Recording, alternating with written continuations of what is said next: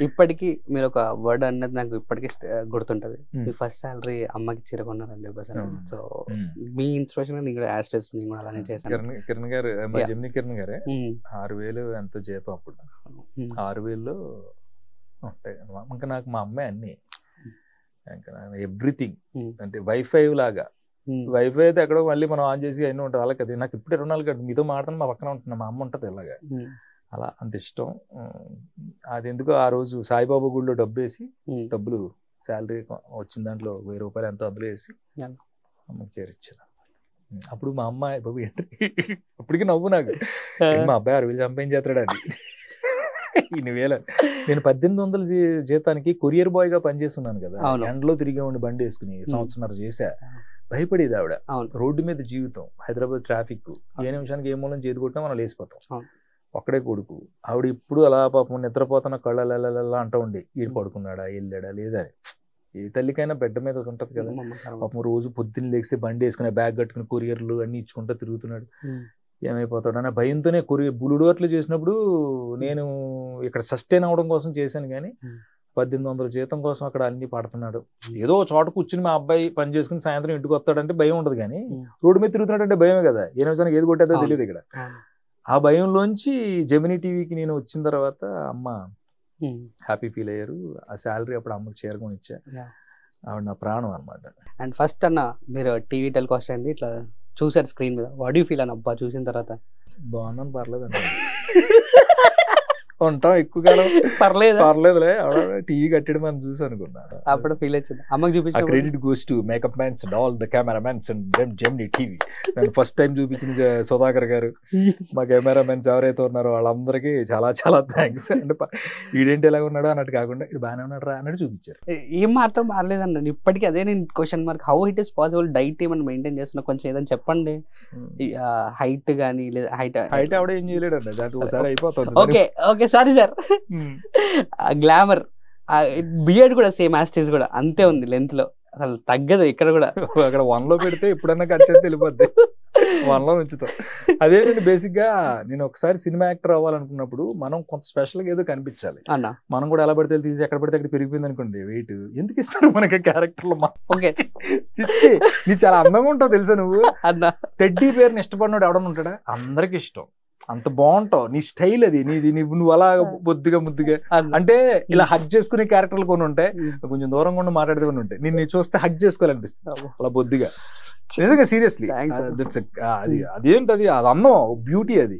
అలా. నేనేంటంటే కొంచెం హైట్ కదా దాని మీద ఫస్ట్ నుంచి కొంచెం హైట్ కోసం డైట్ మెయింటైన్ చేసి ఎక్కడ పడితే అక్కడ పెరగకుండా.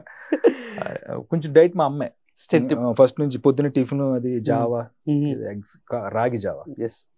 తాగుతాను. ఎగ్స్ యోగా అది ఈ మధ్యన చేస్తున్నాను. డైట్ ఫుడ్ ఓ తిరిగిన ఎగబడి ప్లేట్ అట్టుగానే మొత్తం అందులో కలిపావు తినాల్సిందంతా బేవర్లో తినేసాను. ఇంకా తింటారు. బిర్యానీ బిర్యానీ తినేసివ్వండి ఆహా. మేమందరం ఫ్రెండ్స్ కూర్చుంటే ఏమన్నా ఒరే ఇంకో బిర్యానీ ఎక్స్ట్రా ఉందని నేను తినేసేవాడిని అలా తినేవాడిని. ఇప్పుడు మా ఇంట్లో అంతే టూ థౌజండ్ త్రీ నుంచి ఫుడ్ కంట్రోల్ చేసుకుంటూ వస్తే పర్వాలేదు. నేను ట్వంటీ త్రీ నుంచి కంట్రోల్ చేస్తాను ట్వంటీ త్రీ నువ్వు కంట్రోల్ చేయకు నువ్వు ఎలాగ ఉండాలి. బంగారంలో ఉన్నావు నీకేంటి? అండ్ మీరు బంక్ కొట్టి.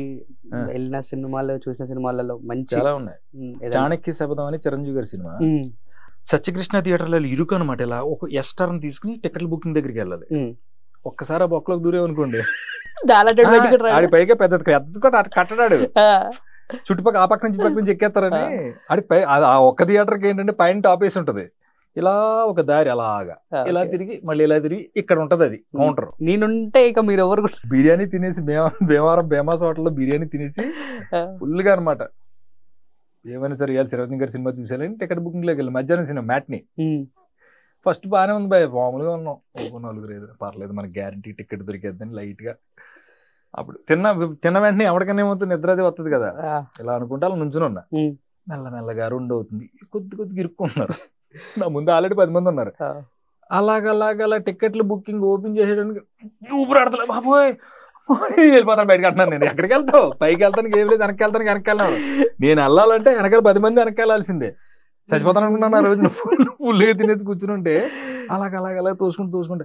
రే పిల్లడికి పైన ఈ కిటికీలు ఉంటాయి చిన్న కిటికీలు. అవును. ఆ కిటికీల్లోకి ఒరే కొంచెం ఆయన ఎవరో కొంచెం పెద్దతను చేసి ముందర గాలాడినివ్వండి అని చెప్పి అంత ఊపిరాళ్ళ. అదొక ఎక్స్పీరియన్స్ చాణక్య శబదం అనే సినిమా. ఆ బంక్ కొట్టి బాగా తినేసి వెళ్ళి లైన్లో నుంచి ఉంటే అది కక్కేసినంత పని అయింది మొత్తానికి జాలిపడి ఆ టికెట్ ఇచ్చి. ఇప్పుడు అవసరం లేదు. బుకింగ్ చేసుకుని బుక్ వైషలో బుక్ చేసుకుంటే అయిపోతుంది. ఇప్పుడు అన్ని వచ్చినాయి కదా. అప్పటి. ఫెసిలిటీస్ అన్ని భీమవరం Mm. అప్పుడు అది గుర్తుంది. చాలా సినిమాలు అలాగే చూసాను బంకొట్టి కాలేజీలు బంకొట్టి సినిమా Hmm. అలా చూడకపోతే వాడి గురించి ఆలోచించాలి కానీ. చూసినప్పుడు కరెక్టే మీ దారిలోనే మేము కూడా అట్లా బంక్ కొట్టి అలా మరీ బంకుట్టేయకండి కాలేజీ ఎలా ఉంటుందో తెలియకుండా అలాగే ఇలాగా. అసలు కాలేజ్ అంటే ఏంటి? మాకు కాలేజీలో లెక్చరర్స్ అప్పుడప్పుడన్నా వస్తూ ఉండంటారు మిమ్మల్ని చూస్తే ప్రేమగా ఉంటుంది. రీసెంట్గా నేను మా పిఆర్ కేఆర్ గారు ఒక లెక్చరర్ గారు నన్ను గుర్తు చేసుకున్నాను నేను అప్పట్లో పాటలు రాస్తే వంద రూపాయలు ఇచ్చారు. వంద నా దగ్గర ఉంటది. సురేంద్ర అని ఒక అబ్బాయి మా జమిని టెలివిజన్ కెమెరామెన్గా పనిచేశాడు. వాడు భీమవరం వెళ్ళాడు. Hmm. ఉమ్, అల్లూరు సీతారామరాజుకి విగ్రహావిష్కరణ. వెళ్ళినప్పుడు సునీల్ త్రివిక్రమ్ ఇలాంక డిఎన్ఆర్ కాలేజీ ఎవరెవరు ఉన్నారని మీద ఇంటర్వ్యూలు చేస్తున్నప్పుడు Hmm. వీళ్ళు మా లెక్చరర్ గారిని అడిగినప్పుడు ఆయన ఇప్పుడు ప్రిన్సిపాల్ అయ్యారు ఆ మాటలో ఆయన నన్ను నన్ను అప్పట్లో జమినీ సురేష్ జమినీలో యాంకరింగ్ సినిమాల్లో యాక్ట్ చేస్తున్నాడు వాడు. వాడు పాట రాశాడు ఆ కాలేజ్ మీద. ఎంత గొప్పగా రాశాడు నా పేరు ఎత్తారు ఆయన. మాకు మాస్టర్ ఆయన. అది అంతకంటే గొప్ప ఏముంటది అచీవ్మెంట్ ఆ విషయం ఆ సురేంద్ర అనే అతనే నాకు ఎలా చేసి అన్న నీ గురించి చెప్పారన్న మాకే ఆశ్చర్యం వేసింది అని అంత గుర్తు పెట్టుకున్నారంటే ఎన్ని ఇయర్స్ ఇప్పుడు ఇరవై ఐదు ఏళ్ళు ఎప్పుడు ముప్పై ఏళ్ళు అప్పుడు అలా. అల్లరి అలా ఉండిపోవాలి? అది భలే ఉండేదండి. అసలు కాలేజ్ లైఫ్ అదంతా బాగుండేది. Yes. సందడి దబ్బడి చాంటలు బట్టి ఇంటికి వచ్చి. చాలా ఎనర్జెటిక్గా ఉండేవాళ్ళు. గ్రౌండ్లో ఆడుకోవటం. బాగుంటుంది మా భీమవరం బాగుంటదంటే బాగుంటది. నేను వస్తాను. రండి భీమవరం భీమవరం వెళ్ళాలి. సంక్రాంతి ఇప్పుడు సంక్రాంతికి భీమవరం అంటారు కానీ భీమవరంలో రోజు సంక్రాంతి. అక్కడ మామూలుగా ఉండదు. వాళ్ళకి ఏం కావాలి? నేను పోస్ట్ రాశాను భయ వెరీ పెద్ద రెస్పాన్స్ పెద్ద పెద్ద డైరెక్టర్స్ వాళ్ళు యంగ్ డైరెక్టర్స్ ఎంత బాగా రాసావా ఎంత బాగా రాస్తావా అని. భీమవరంలో ఆయన రాశాను ఆ ఫేస్బుక్లో ఉంటది. ఉంటది నా ఫేస్బుక్లో చదువుతాం మా ఆడియన్స్ చదువుతాను. మీరు మీ టైం ఇస్తే చదువుతాను. టేక్. యూర్ ఓన్ టైం అన్న. ఇది. మందే. అది మందే కానీ వాళ్ళకి ఒప్పుకుంటుంది ఏంటి? ఉంటుంది ఉంటుంది.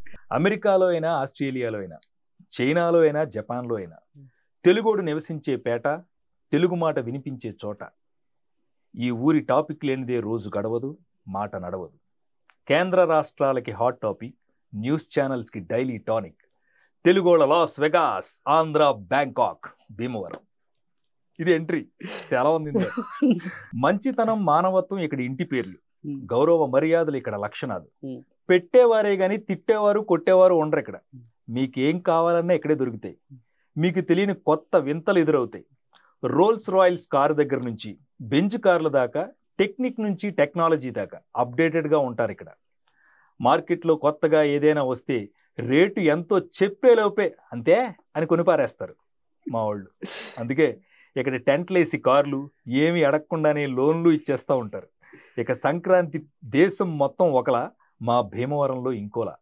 కోట్లల్లో కాక్ ఫైట్లు లక్షల్లో బైక్ రేసులు విందులు వినోదాలు అతిథులు ఆతిథ్యాలు పరువులు ప్రతిష్టలు ఆప్యాయతలు అనురాగాలు ఎటకారాలు మమకారాలు ఇవన్నీ ఇక్కడ ప్రాథమిక హక్కులు.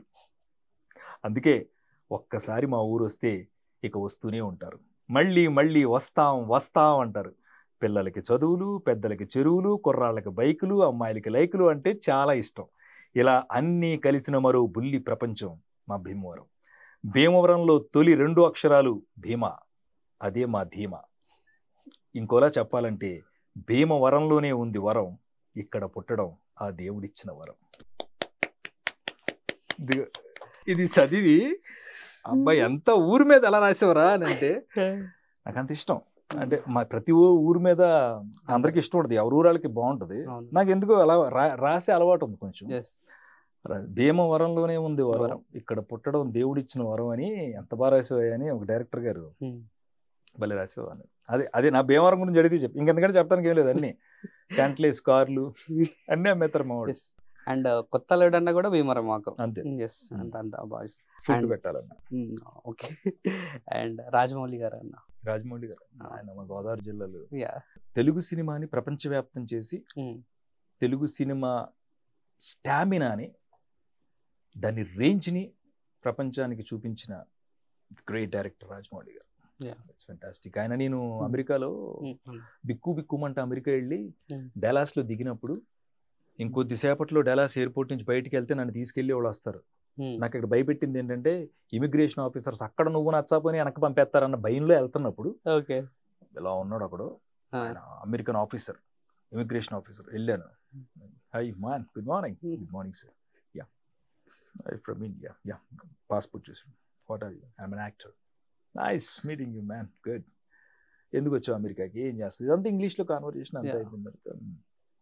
Yo Baahubali what a fantastic film అంటే జమ్మని వేసిన ఇలాగ గూస్ బంప్స్ ఎక్కడ అమెరికా ఆఫీసరు.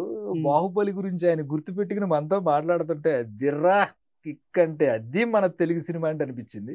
అలా అని all the best enjoy the trip అని మర్యాదగా అమెరికాలోకి పంపించాడు. ఫస్ట్ టైం నేను అమెరికా వెళ్ళినాడు దట్ ఈస్ ద బిగ్గెస్ట్ నాకు చాలా ఎక్స్పీరియన్స్ మర్చిపోలేను. రాజ్భవన్ గారిని ఎప్పుడైనా కలిస్తే సరే ఇలా జరిగిందని నేను చెప్పలేదు మీరు చెప్తుంటేనే నాకు కూడా ఎవరు మనం ఎక్కడో ఇక్కడ తెలుగు ఆంధ్ర. ఇక్కడ నుంచి సినిమా ఒకటి వెళ్ళి వా అమెరికాలో పెద్ద ఆఫీసర్ ఒక అతను నన్ను చూసి ఆమె తెలుగు యాక్టర్ అండి నేను నన్ను ఇంట్రడ్యూస్ చేసుకుంటే ఆయన బాహుబలి సినిమా గుర్తు చేశాడు. అండ్ న్యూయార్క్లో వ్యాక్స్ ఇది ఉంటుంది. అందులో నేను టికెట్లు అయిపోయినాయి. అంటే అయిపోయినాయి అంటే షో అయి ఆ టైం చూడడానికి ఎంట్రీ అయిపోయింది. నేను ఇలా అద్దాల్లో చూస్తే ప్రభాస్ గారి వ్యాక్స్ స్టాచ్యూ నరేంద్ర మోడీ గారి వీళ్ళందరూ గాంధీ పెద్ద పెద్ద వాళ్ళ విగ్రహాలతో పాటు ప్రభాస్ గారి విగ్రహం ఒక సినిమా మనిషిగా నాకు ఎంత గర్వంగా ఉంటుంది. అలాంటి Super. That was fantastic Fantastic.